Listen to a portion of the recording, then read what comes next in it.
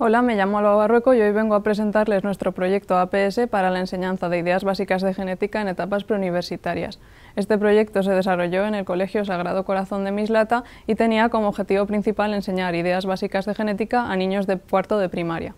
Para ello, unos alumnos de cuarto de secundaria desarrollaron una serie de talleres.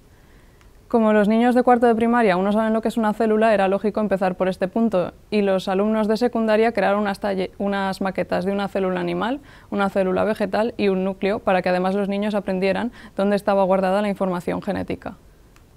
El segundo taller se basó en la creación de un mural con un eh, cariotipo humano y para ello los niños de primaria Pintaron una serie de cromosomas con su bandeado característico y los pegaron en el mural. Además aprendieron dónde estaba guardada la información genética, qué eran los cromosomas y qué era el ADN, ya que los alumnos de secundaria eh, elaboraron una maqueta del ADN.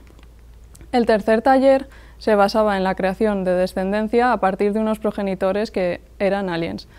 Eh, estos progenitores tenían un, fenotipo y un genotipo determinado. A partir de las frecuencias alélicas en los progenitores se crearon una serie de cromosomas y los niños tenían que pintar y recortar y pegar unos caracteres en unas siluetas para crear su propia descendencia. De esta manera aprendieron qué era la variabilidad genética y cómo se transmitía la descendencia.